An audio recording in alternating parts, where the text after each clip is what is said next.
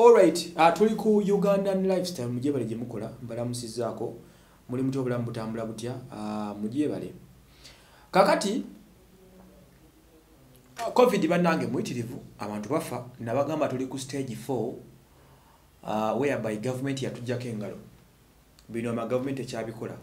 Gavumenti yaga talina sente kati omulambo waafa ngamba omuntu obwo aba afudde mulambo bamukuwa luli gavumenti nga bwofiisa omuntu covid yemuziika mu red cross n'ebirala kati bagee tebalina sente kati bakusibira omulambo tokkiza ogusumulula noziika omuntu nga bwali. Tuli ku stage 4 whereby tufiisa abantu kati 1 mwenda bataano. Ebyo tebyaliwo luli.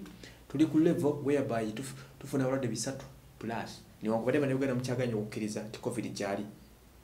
Olwebyo ebiriwo ebitamatiza mbeera. Thats one. So ekyo mukiteeke mubiroozi bane covid gyali abantu bafa realistically people are dying. Nze ntegeddeko abantu abasukka mukaaga nga they are my close people balina covid. Ah, so nga mbamanyi ti gundi yalwala ne gundi yakolaki yalwala. So kati covid wali watanafiisa muntu wo tobiyita ebyokusaaga. Mama chosen blood juzi yafa covid. Kati uh, naye bangi mubaddeyo eyo naddala bannaffe abaagala okutambula abamu temumanyi kyakkola ekyo kimu. Ekyokubiri temumanyi wamutesitingira covid oyo. Ekyokubiri abagala otambula mukitegedde. Then abantu abala waliwo obuzibu badde obutandise okujja mu ggwanga fake covid tests. Ministry of uh, health ekulemberwa omukyala anlady jane ruth acheng achero n'abasigadde badayana twin abakyala abasatu abo batukoledde omulimu ogw'amaanyi. Bano bafulumizza list za accredited laboratories. Bo ze basatifyinga nti eyo bwokigendamu results zogenda okuvayo nazo ntuufu. Awatali yadde okubuuza yadde okubuusabuusa.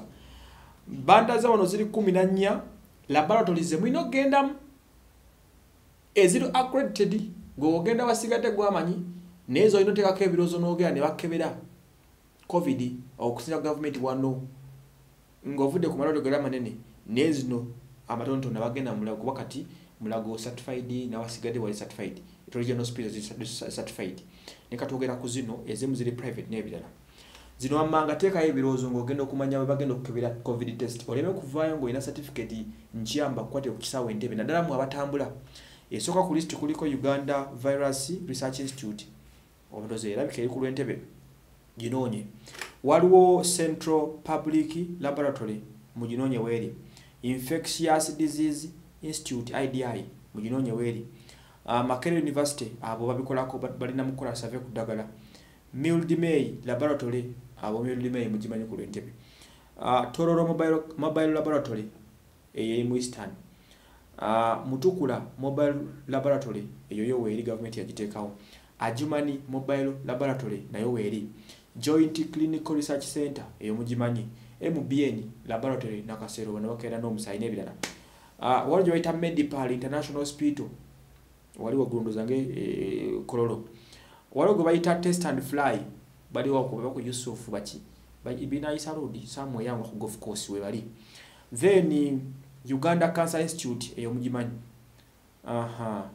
Then ne iom laboratory. Ziri kumi na nnya.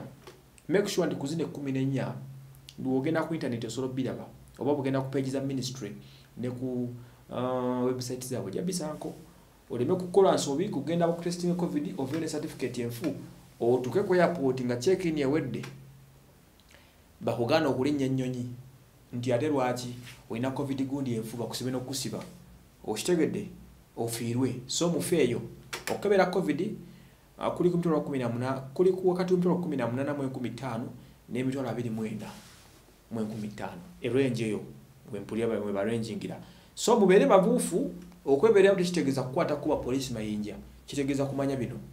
Nze wasu emmanuel